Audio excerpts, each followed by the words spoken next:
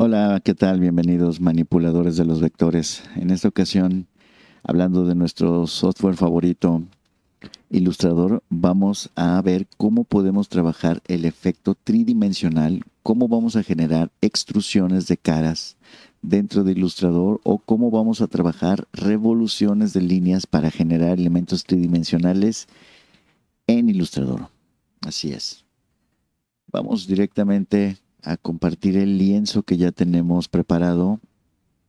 Toma la mesa de trabajo que tú gustes. Eso es totalmente indiferente. ¿Qué podemos hacer? Te voy a enseñar primero a hacer extrusiones. ¿Cómo puedes pedirle que cierto texto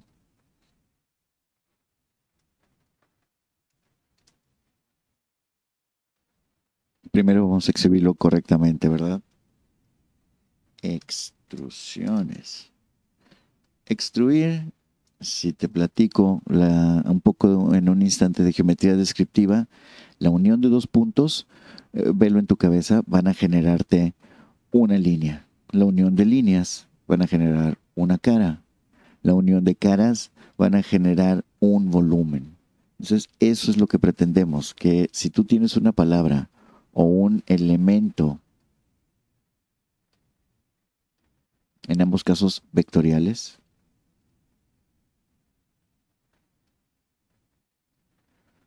voy a seleccionar una tipografía un poco más un poco más bold para que se note mi punto. Y en ambos casos tienes eh, dos tipos de camino para llegar al efecto deseado. Uno es en el menú efecto tienes el comando de 3D y desde ahí puedes recurrir directamente a extrude pero me he encontrado con algunos alumnos que empiezan a sumar el efecto. Si tú este es el camino que tomas y no eres consciente de que cada que tú eh, le vas a ir a decir al ilustrador mediante este método que quieres el efecto, él va a empezar a sumar las, ah, las modificaciones en 3D. Tú lo que quieres es editar el efecto en 3D que le hayas colocado. Entonces creo que el segundo método es el correcto. ¿Cómo, cómo lo vas a ejecutar? Vas al menú ventana, localiza el comando apariencia en español, si es que así tienes el software, o appearance, si es que lo tienes en inglés. Appearance eh, te da una descripción de los efectos y las transformaciones que le hayas hecho a determinado sujeto.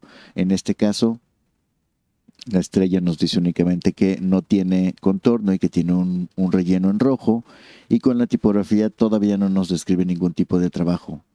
¿Qué queremos hacer con la misma? Eh, tienes tres botones en la parte inferior derecha, dentro de esta paleta de Appearance. Izquierda, parte inferior izquierda. Esa dislexia de profesor, ¿cómo es posible? Podemos agregarle eh, a este sujeto desde aquí un stroke, un nuevo relleno, o le puedo pedir un efecto. Este tipo de efectos aquí en Illustrator se, eh, se dividen en efectos para el mismo software con el que estamos trabajando y tienes también en la parte inferior uh, el efectos de Photoshop. Estos prefiero utilizarlo en su, en su formato, en su interfaz nativa que es la de Photoshop y ya hablaremos de, de ellos. En la parte superior encuentro todos los efectos en los que también hay información en otros videos, pero en este caso únicamente trabajo con extrusiones y revoluciones que son los de 3D. Aquí es donde encuentras el mismo elemento. ¿Qué hace la diferencia? Lo veremos en unos instantes. Cuando tú le pides en la extrusión y el biselado, te aparece una nueva ventana en donde el cubo es tu control maestro para empezar a proyectar esas caras hacia donde tú lo, lo requieras. Observas cómo responde perfectamente el texto a lo que yo le estoy pidiendo. ¿Cuáles son los aspectos más importantes? Como lo estás viendo, hacia dónde se van a proyectar. Si qué tanta extrusión, qué tanta profundidad va a tener. Así que lo que hiciste con esa cara es que la proyectaste sobre sí misma y su proyección te dejó el rastro de un elemento que simula un tridimensional. Si yo le doy OK, porque me quería acercar a ella para manipularla o no me gustó la posición en la que quedó, este es el, error que constantemente veo. No vayas a ir a, a efecto, al menú efecto y pedirle 3D, extrusión y biselado porque este es el error. Te va a decir que le va a sumar la transformación 3D. No, no quieres eso. Para editarlo, lo haces mediante la paleta Appearance en el renglón de 3D.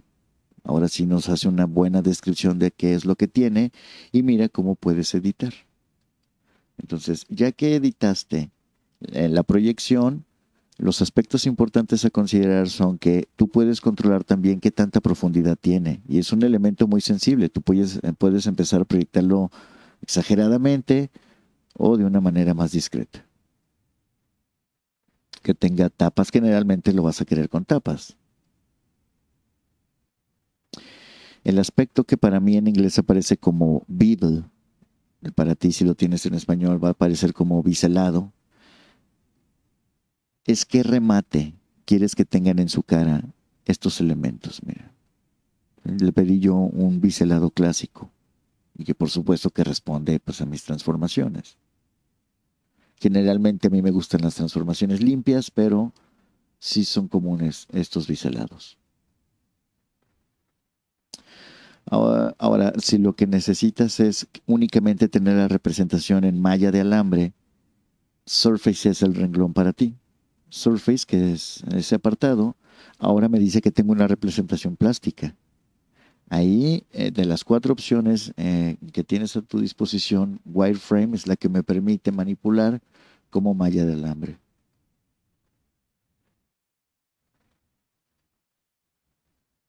Finalmente, le doy OK. Si lo que quiero es que algún elemento tenga representado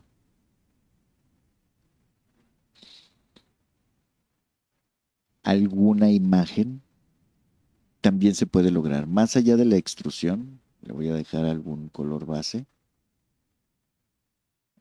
Este de aquí, un gris.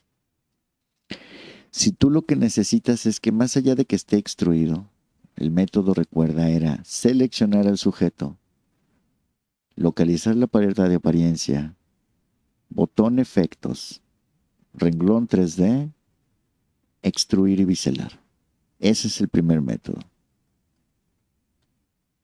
Mueve la paleta, la, paleta, la paleta la puedes mover localizando su, su cejilla superior, muévela del lugar y ahí es donde comienzas con la proyección con el biselado que le pediste y qué tan profunda era. Ok. Pero resulta que además tú quieres que tenga el logo de tu empresa o una, eh, una simple imagen. En este caso,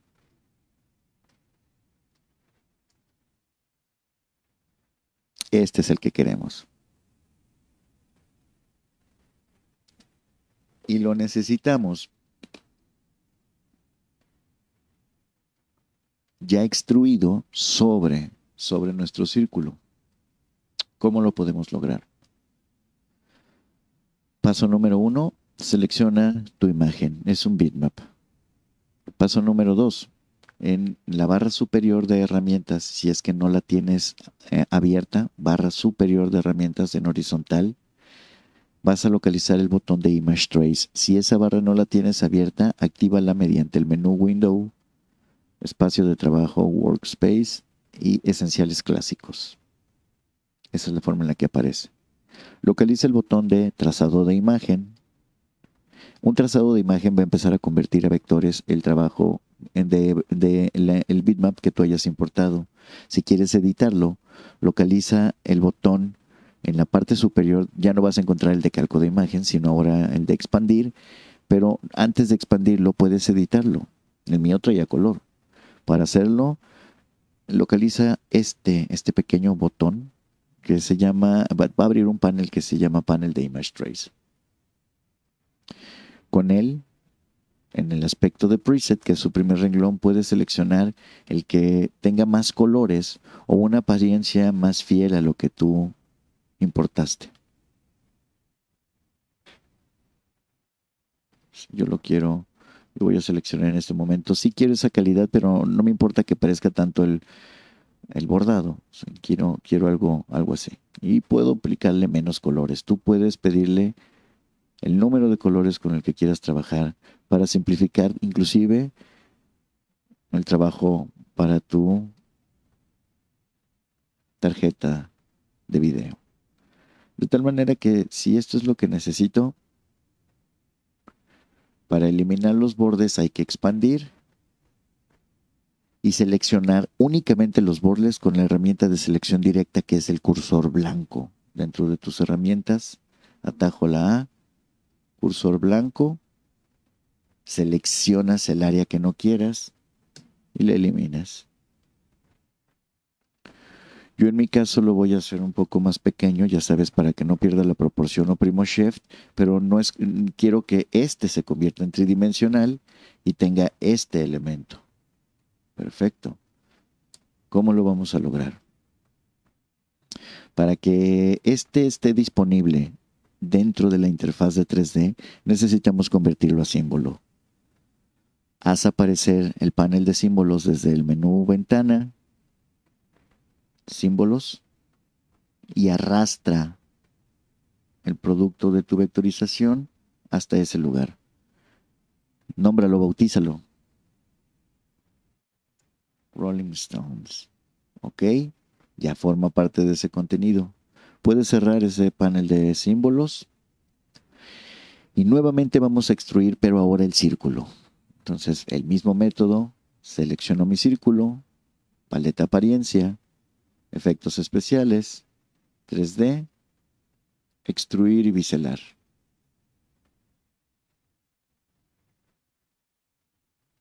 La profundidad que necesites. El biselado que necesite. Y más allá de eso, ahora quiero que traiga esa, ese arte, ese símbolo que recién guardamos. Pues bien, localiza en la parte inferior de los botones que tienes al pie de la ventana el primero de izquierda a derecha y dice Map Art.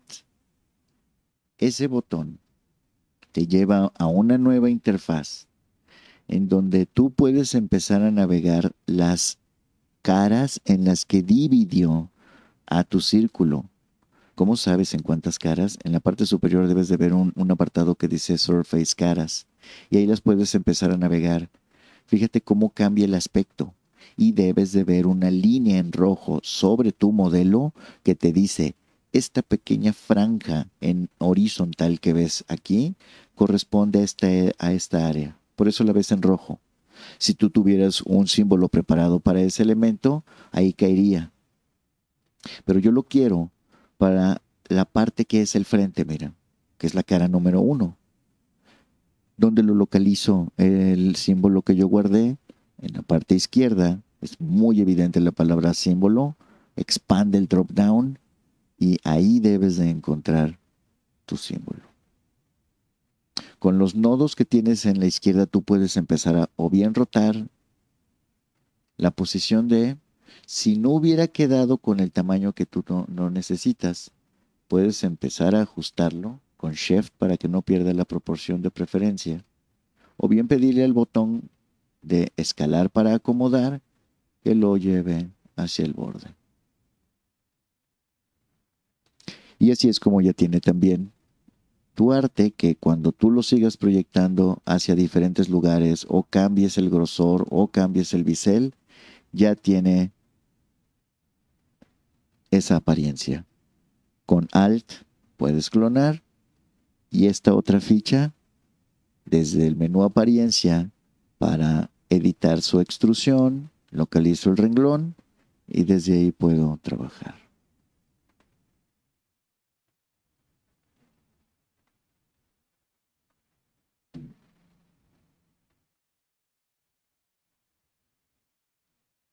Esas son las extrusiones en 3D dentro de Illustrator.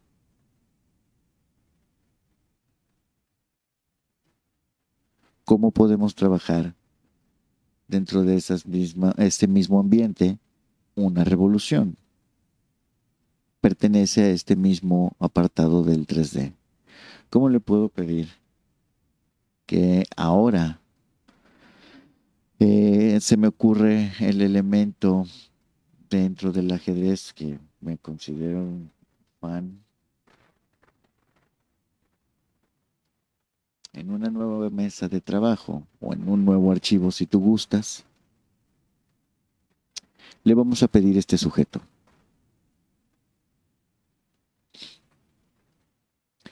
¿Cuál va a ser la diferencia de una extrusión con una revolución? En el caso de la revolución, ahí tomas la línea y la línea se va a empezar a multiplicar sobre los 360 grados para que simule ese volumen. En el caso de la extrusión en el que acabamos de hacer de los Rolling Stones, ahí únicamente proyectaste la cara sobre sí misma para que tuviera esa apariencia tridimensional.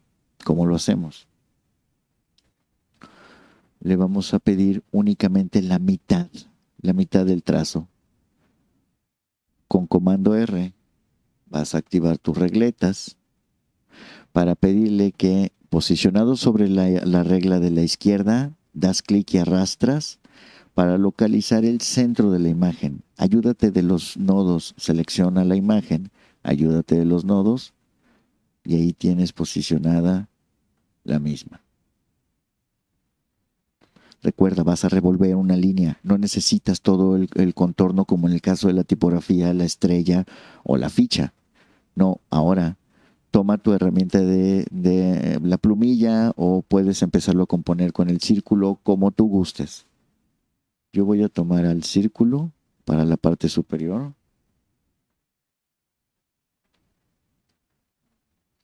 Voy a invertir su relleno por su contorno con esta línea, esa flecha que va, no era línea, era flecha, esta flecha que va a invertir esa información, esta pequeña flecha, por si te perdiste, esta flecha convierte tu contorno en relleno y tu relleno en contorno. Yo en este momento lo quiero en contorno y si tú oprimes la tecla C, C de casa, es porque fuiste a las tijeras. Comenté con anterioridad que no necesito todo el trazo a la mitad. Con esas tijeras vas a dar clic sobre los nodos que quieres recortar, que es el superior y el inferior. Con tu herramienta de selección, toma, yo quiero trabajar con la parte izquierda, entonces tomo el excedente de la parte derecha y lo voy a eliminar. Como mi imagen es gris y mi línea también es gris, te recomiendo que en la parte de las herramientas le des clic para que venga hacia el frente y cambies de color. Exacto, mucho más cómodo. Aquí también me sobra una parte de mi línea. Vuelvo a ir a las tijeras y vuelvo a dar clic aquí. las tijeras son muy exactas para eliminar la parte del vector que no necesito. Selecciono. Y si yo quiero que la plumilla me, me ayude a continuación, es muy sencillo.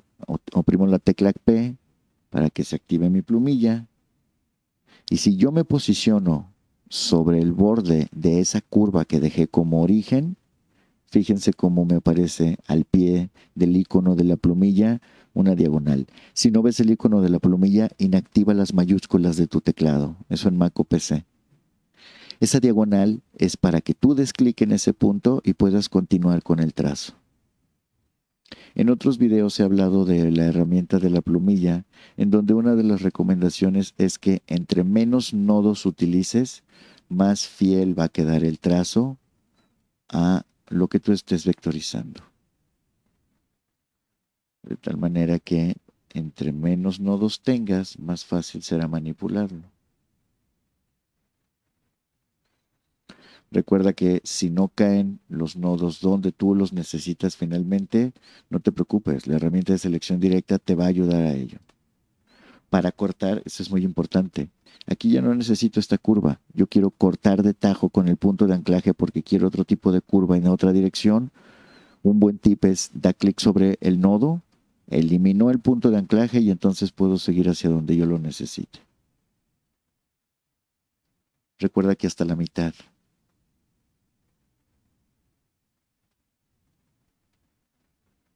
Si alguno si alguno de los nodos termina dando clic para que elimines el punto de anclaje. Únicamente necesitas la mitad. Puedes comprobar oprimiendo comando Y.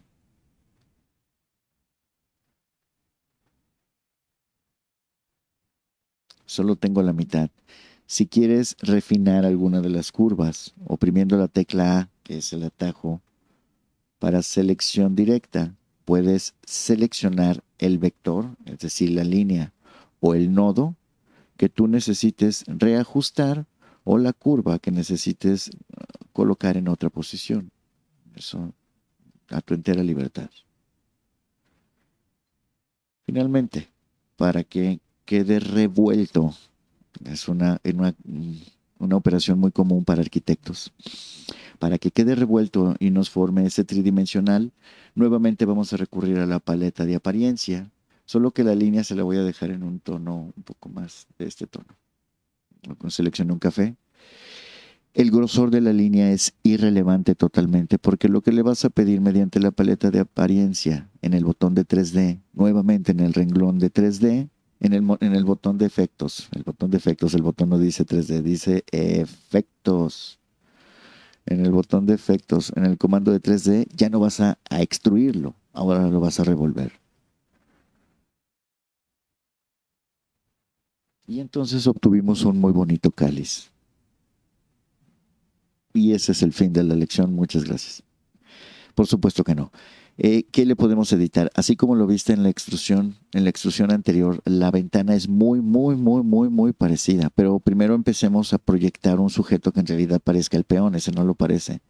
Localiza dentro de la ventana la palabra que dice desde, from, estoy sobre de ella. Lo que sucede es que en mi caso está tomando la revolución desde la esquina, la orilla izquierda. Por eso ves la palabra left edge. Si le digo que lo tome desde la orilla derecha, expandiendo ese drop down, ahora sí se parece a ese peón. Y entonces ya puedes darle la posición que necesites.